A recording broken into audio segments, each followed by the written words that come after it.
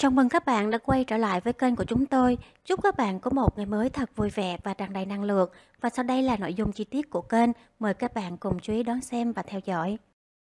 Duy Uyên Mắt Ngọc chính thức hạ sinh con trai thứ hai. Duy Yên được biết đến là cựu thành viên Mắt Ngọc từng nhận được nhiều sự yêu mến của khán giả trong khoảng thời gian còn hoạt động. Sau khi rời showbiz, cô cùng chồng sang Mỹ định cư. Mang thai lần hai ở tuổi 39, Duy Yên nay đã hạ sinh quý tử, mẹ tròn con vuông và nhận được nhiều lời chúc phúc. Duy Yên trong bữa tiệc mừng sinh nhật con gái và chuẩn bị chào đón quý tử. Nữ ca sĩ luôn giữ được vẻ ngoài rạng rỡ dù đã U40. Trên trang cá nhân, Duy Yên thông báo đến người hâm mộ đã chính thức hạ sinh con trai thứ hai được một tuần. Sau khi ổn định sức khỏe, cô mới dám khoe hình ảnh bên nhóc tì. Của thành viên mắt ngọc hạnh phúc trong khoảnh khắc ôm con trai vào lòng, cô cũng thoải mái chia sẻ cận diện mạo quý tử. Nhóc tỳ trọn vía khấu khỉnh và đáng yêu, dáng vẻ khi ngủ của em bé tạo cảm giác bình yên, dường như không quá vậy phá mẹ. Duy Yên tiết lộ tên con trai là Liam Dan Uy Nguyễn, nữ ca sĩ tâm sự. Bao ngày mẹ ngóng, mẹ trong, Bây giờ cũng làm quen với nhau được một tuần rồi. Chào thế giới, em là Liam đang y Nguyễn và mẹ em ngày ngày làm bò sữa cho em. Chỉ mong em mau chóng lớn là vui rồi.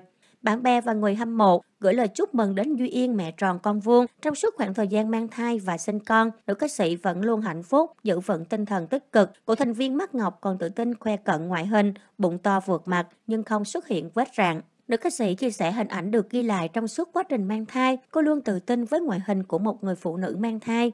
Cụ thành viên Mắt Ngọc còn tranh thủ lưu lại những khoảnh khắc đẹp. Ở những tháng cuối thai kỳ, Duy Yên được ông xã chăm sóc, chu đáo, thường xuyên đưa đi ăn nhiều nơi để tinh thần thoải mái. Nữ ca sĩ hạnh phúc bên chồng và cả con gái đầu lòng. Mỗi lần xuất hiện cô cũng diện đồ chỉnh chu, khoe nhan sắc trẻ trung và phong độ thời trang ổn định. Sau khi gác lại ánh hào quang showbiz, Duy Yên hạnh phúc bên tổ ấm nhỏ.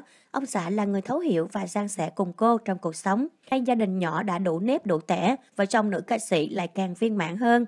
Dù đã lâu không hoạt động nghệ thuật, Duy Yên vẫn được khán giả yêu thương và quan tâm. Người hâm mộ gửi nhiều lời chúc đến cô và nhóc tỳ mới chào đời.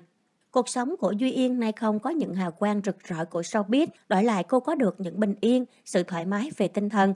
Hơn nữa được chồng yêu thương và có những đứa con ngoan là điều bất kỳ người phụ nữ nào cũng mong muốn. Trong cuộc sống chúng ta sẽ có nhiều sự lựa chọn khác nhau. Tuy không thể vẹn toàn cả đôi đường, nhưng chỉ cần chúng ta cảm thấy hài lòng thì bất cứ con đường nào cũng đáng để bước đi.